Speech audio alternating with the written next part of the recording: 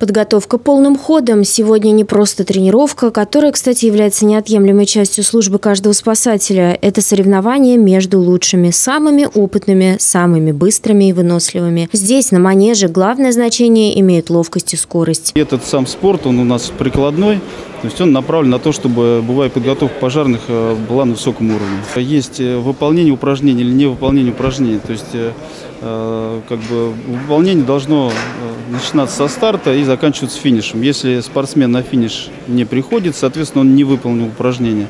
То есть других ошибок не бывает. То есть если спортсмен ошибается, то есть ну, априори он должен упасть с башни. Вот, но такого не бывает. Либо он, значит, сходит с дистанции, просто э, там на втором, на третьем этаже сходит, значит, все, не выполнил упражнение. Спортивные навыки в профессии спасателя не просто преимущество, но необходимость, порой жизненно важная. Однако в рамках соревнований адреналина добавляет азарт. Спасать никого не надо, а вот выложиться стоит по полной. Получается не всегда.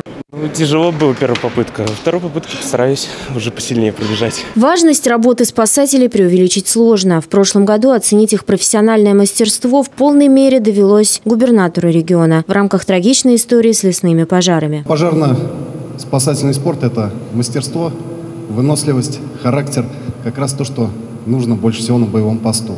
Знаю, что вы все покажете очень высокий уровень подготовки, свои самые лучшие качества – у нас вообще очень уважают и ценят работу МЧС в регионе. У меня лично была возможность увидеть в полной мере, почувствовать, ощутить, проникнуться вот вашим нелегким трудом во время прошлогодних лесных пожаров. Все это, конечно, произвело неизгладимое впечатление.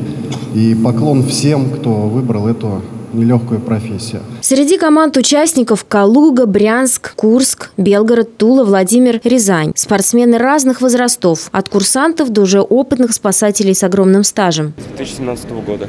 Практически два года. Года четыре уже. Да, год четыре. Плюс-минус два, три. Мы морских учимся. Ну, не знаю, по душе она мне. Тем более родственники тоже работают в МЧС. Ну, я-то в спорте 40 лет уже. Что? Начинал еще вот с таких. И бегал в Рязани в свое время, когда приезжали каждый год на, э, в мае месяце на турнир имени Зайцева у вас. Вот, пожарной части там. А так мы каждый год сюда приезжаем вот зимой. Бывают такие случаи, когда необходимо проявить вот именно физические навыки, там, физическую силу где-то. Поэтому этот спорт, он очень сильно помогает в этом. На такие манеж побольше в России будет все хорошо. Профессиональная, можно сказать, деятельность, подготовка. Как у нас сегодня подготовка? Как, какая как и всегда, наверное, как и у всех.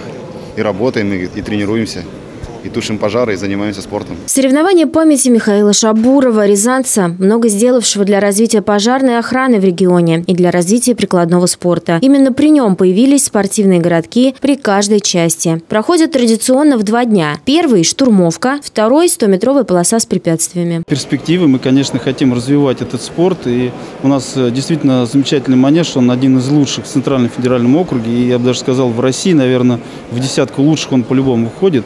Поэтому мы хотим, чтобы это сооружение у нас э, э, ну, поддерживалось в хорошем состоянии. И, конечно, хотим, чтобы такие турниры были всероссийскими у нас. То есть мы хотим, чтобы ежегодно этот турнир стал в статусе всероссийского. Прикладной вид спорта обязателен для всех сотрудников, вне зависимости от того, планируют они участвовать в соревнованиях или нет. Все пожарные обязаны выполнять определенные нормативы. От этого зависит их служба.